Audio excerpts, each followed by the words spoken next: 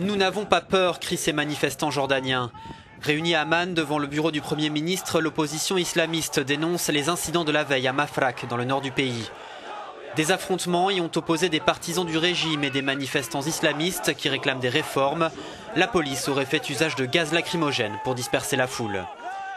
Aujourd'hui à Amman, les forces de sécurité ont empêché les manifestants d'atteindre le bureau du Premier ministre.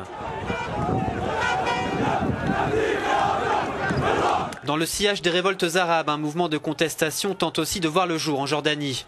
Depuis le mois de janvier, des rassemblements de ce type ont lieu régulièrement. Ils réunissent surtout des islamistes, mais aussi des jeunes qui réclament une réforme politique et la fin de la corruption.